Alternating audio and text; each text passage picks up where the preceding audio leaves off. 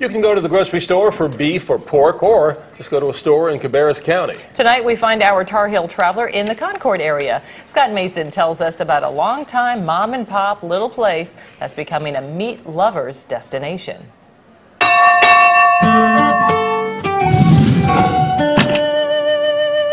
Rimer is a small community north of Charlotte, but that's a well known place to meet.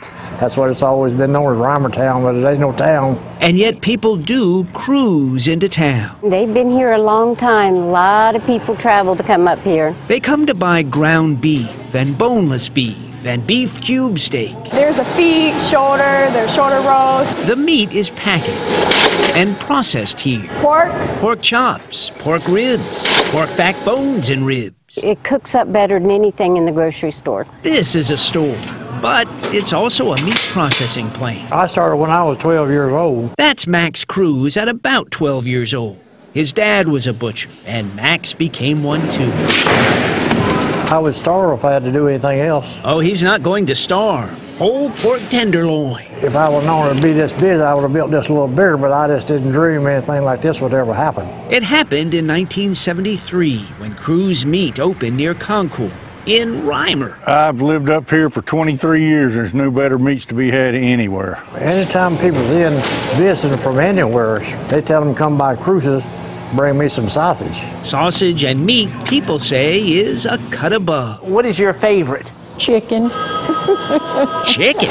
Nada. Nothing chicken around here. When you all started this, did you have any idea what it would become? I did not. I think I would run and hid. That's because it's always busy. Yeah, really busy. We don't have trucks on the road.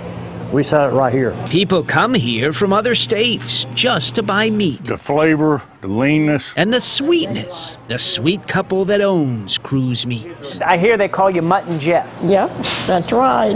That's Ruth and Max. She's 4'8, he's 6'4. They've been married almost 50 years. I'll just keep running errands as long as they need me. I told her I'd just helped make the money. If she spent too much, it was her fault.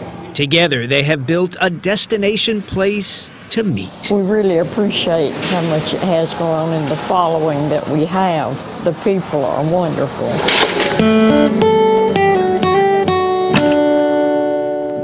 Six four and four eight. Ah. Good for them. Yeah, they do quite a business there. That's impressive. At its Yeah. busiest times, Cruse Meat sells about 20,000 pounds of meat a month. Ten tons. And you know, Max says uh, that's a lot for a little place. Yeah. Yeah. Good job, Max.